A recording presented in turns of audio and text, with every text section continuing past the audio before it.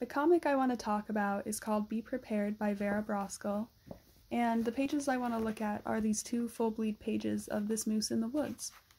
So, um, the story is about a girl at a camp, and she's in like middle school. She's super awkward. She hates the social scene. Um, there's a lot of like popularity and like ranking, and you know, it's like this weird summer camp that she hates, and it's super chaotic and you can kind of see it in like the way that these panels are formatted. They're not like small, that's for sure. They're they're pretty big panels, but they're always filled with the dialogue and the dialogue often takes up a lot of space and you can see that like the focus here is really on what's going on socially and like the discomfort that she's feeling and just how much she despises this camp. Um and then so we've got the middle school chaos, and then she's trying to sleep in this tent with people.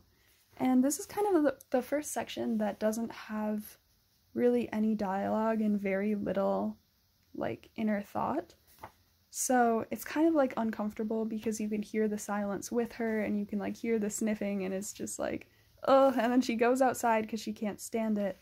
And then she can hear noises outside.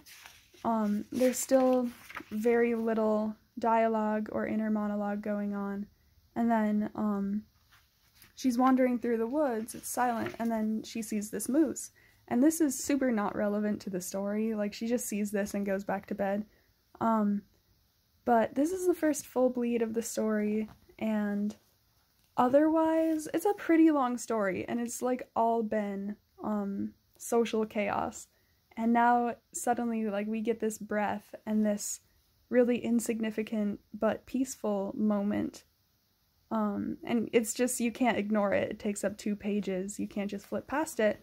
Um, and then, you know, she sees it and she goes to bed and she wakes up and it goes back to this crazy social life. But it's just kind of this reminder in here that, like, what's going on is, like, entirely again it's like entirely a social thing um but yeah, I just thought that this peaceful moment was really cool.